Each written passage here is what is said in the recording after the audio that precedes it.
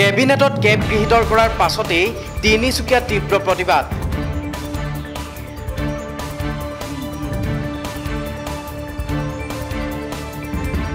সদৌ অসম ছাত্ৰ সন্থাই বিভিন্ন দল সংগঠনৰ লগতে অসমৰ জনসাধাৰণৰ সহযোগত জাতিধ্বংসী নাগৰিকত্ব সংশোধনী বিধেয়ক দুহেজাৰ ষোল্ল বাতিলৰ দাবীত আন্দোলন কৰি আহিছে। কিন্তু জনসাধাৰণৰ লগতে দল সংগঠনৰ আন্দোলনক ভেঙুচালি কৰি কেবিনেটত কেব গৃহীত কৰাৰ লগে লগে অসমত পুনৰ সৃষ্টি হৈছে আন্দোলনৰ পৰিৱেশ।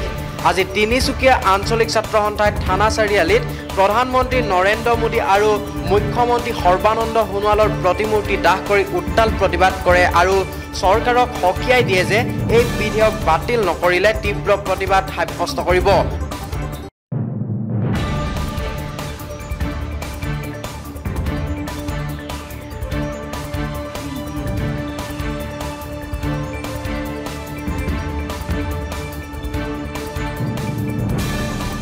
তিনিচুকীয়া আঞ্চলিক ছাত্ৰ সন্থাই আজি নৰেন্দ্ৰ মোদী আৰু সৰ্বানন্দ সোণোৱালৰ প্ৰতিমূৰ্তি দাহ এই থানা চাৰিআলিত কৰিছে আৰু নাগৰিকত্ব সংশোধনী বিধেয়ক বাতিলৰ দাবীৰ বিৰোধিতাৰে আমি এই তেওঁলোকৰ প্ৰতিমূৰ্তি দাহ কৰিছোঁ আৰু আমি ভাৰত চৰকাৰ আৰু অসম চৰকাৰক স্পষ্টভাৱে জনাব বিচাৰিছোঁ যে এটা ষ্ট্ৰং ৱাৰ্ণিং নাগৰিকত্ব সংশোধনী বিধেয়ক দুহেজাৰ ষোল্ল বাতিল নকৰা পৰ্যন্ত সদৌ অসম ছাত্ৰ সন্থাৰ সংগ্ৰাম আৰু গণতান্ত্ৰিক আন্দোলন চলিব আৰু অনাগত দিনতো খিলঞ্জীয়াৰ অধিকাৰ সাব্যস্ত কৰিব আৰু অনাগত দিনত খিলঞ্জীয়াৰ প্ৰতি এনেকুৱা ধৰণৰ অন্যায় আমি কোনো ধৰণে মানি নলওঁ। সদৌ অসম ছাত্ৰ সন্থাই অনাগত দিনত ইয়াতকৈ ভয়াৱহ আন্দোলন হ'ব।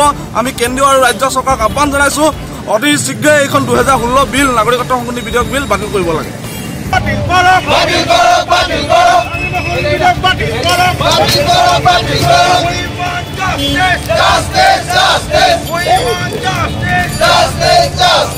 তিনিচুকীয়াৰ পৰা বিবেক বৰা ৰিপৰ্ট অসম টুডে।